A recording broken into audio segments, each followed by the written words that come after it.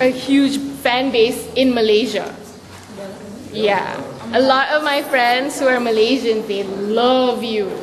They, That's they, awesome. they watch your videos, so keep on doing what you guys are doing because you guys are, glo- are, going global. You know? right. Thank you. It is amazing. They have conquered the world at 10 years old. You conquered the world at 10 years old. How amazing is that? yep. And it only gets better from here, guys. It only gets better. For all of your songs, do you, is this the type of music that you're singing? Is it like, does it have the same like music theme? I, I, I don't know how I should say it. For all your songs, does it have like the same theme to Is it? there a theme to a running theme to your songs? Well, I normally, because I write, oop, I'm sorry. That's okay. I do that with my butt all the time. you know. I norm I write songs that are like um you know like happy, positive songs about life, about love. You know, I don't sing about all the bad stuff. I only sing about nice, cool, happy things. So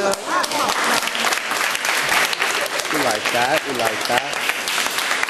Who's your favorite rap artist? my favorite rap artist, um, it would have to be. I have plenty. Wait. It would have to be Pharrell because you Pharrell. know he's. I when I was like in school, I would listen to his music all the time, and then I got to work with him on Live Your Life, which is amazing.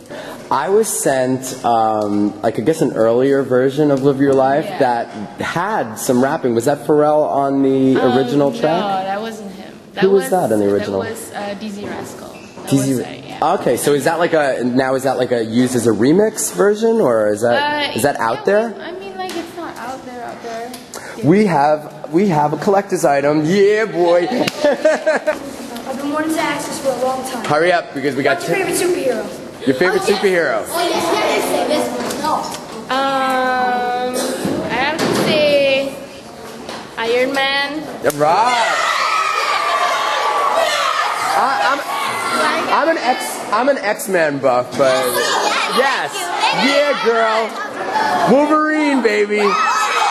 Yeah. So, what did you think about your time with PS22? Wow, uh, it blew me away. I did not expect to be moved like this. I'm, I'm just like the moment I walked in and till now, like it's been, been amazing. And they're so talented. You guys are so talented. I wish I was a part of PS22 when I was their age. You know, I wish I'm like a part of them now.